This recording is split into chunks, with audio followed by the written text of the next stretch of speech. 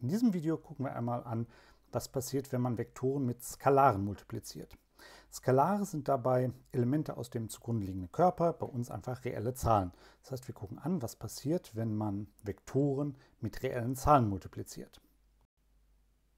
Und wie bei der Addition ist auch die Multiplikation mit Skalaren komponentenweise definiert.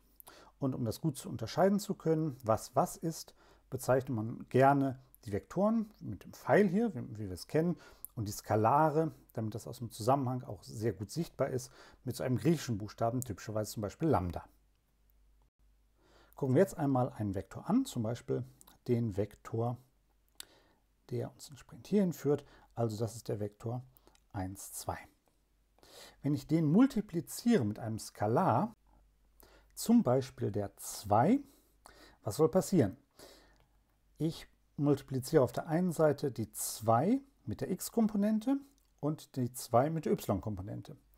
In dem ersten Fall, wenn ich die 2 multipliziere mit der x-Komponente, kommt entsprechend raus, das ist 2 mal 1 ist 2. Und 2 mal 2 ist 4 für die y-Komponente. Das heißt, der Vektor, der entsteht, ist der Vektor 2, 4. Und ich zeichne den einmal ein, das ist genau der hier. Und wenn man scharf hinguckt, sieht man, der Effekt ist, wie gesagt, dass wir, wenn wir mit einem Skalar größer als 1 multiplizieren, dass wir dann den Vektor entsprechend strecken. Das heißt, der wird länger. Und das passt auch sehr gut zu dem, was man erwarten würde, weil wenn ich diesen Vektor 1, 2 nochmal an, an sich selber ranschreiben würde, also quasi 1, 2 plus 1, 2,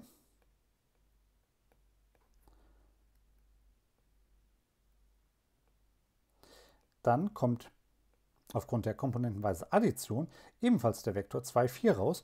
Und das ist auch genau das, was man erwarten würde. Das heißt, wenn ich den Vektor, einen Vektor mit 2 mit einem Skalar 2 multipliziere, bekomme ich genau das raus, was ich auch bekommen würde, wenn ich zweimal den Vektor aufaddieren würde. Entsprechend auch wenn ich mit 3 multipliziere, würde ich sie dreimal aufaddieren und so weiter. Das passt also sehr schön.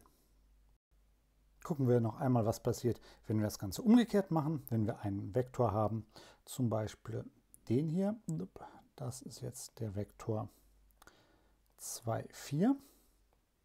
Und wenn ich den multipliziere mit einem Skalar, zum Beispiel 1,5, dann passiert das ebenfalls komponentenweise und das Ergebnis ist eine Stauchung. Der Vektor wird kleiner, kürzer. In x-Richtung und in y-Richtung halbiert sich jeweils die entsprechende Komponente. Wir bekommen also den Vektor 1, 2 raus. Und auch das passt wunderbar zu dem, was wir vorher überlegt hatten. Ne, wenn ich ihn mit 2 multipliziere, wird er doppelt so lang. Wenn ich ihn danach mit 1,5 multipliziere, habe ich wieder den Vektor, mit dem ich gestartet war. Auch wenn man es erwarten würde. Also auch hier ist die komponentenweise Definition ganz intuitiv auch die sinnvolle.